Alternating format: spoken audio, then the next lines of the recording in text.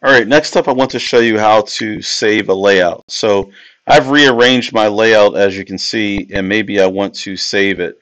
I have to go to the main window here. Now remember I can't move the main window anywhere. It has to stay where it's at. I can arrange my widgets around it but once I select this I can't isolate it off. I can resize it. For, well I can't totally resize. I can minimize it if I want but it's going to minimize the entire thing. right? So now I've minimized the entire thing. If I click on this, it's going to take it all back. Notice that when I hit minimize, it minimized the whole group. To, to get it back, I have to go over here, and I need to select that one, the one that says TrueEdge. As soon as I click that, it brings them all back. Okay?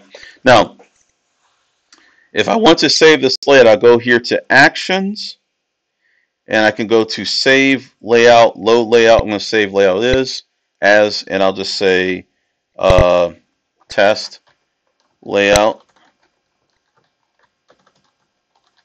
And then I hit save. And then that's that. Now saved successfully on my desktop. All right?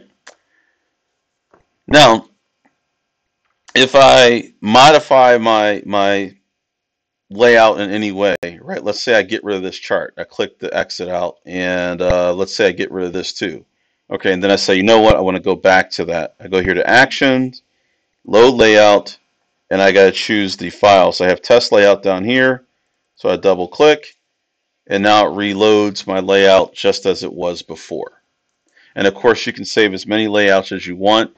It is going to designate where they're saved to as layout files. So if you don't want them to save into the downloads or any other place, just select the appropriate uh, place on your computer where you want to save your layouts.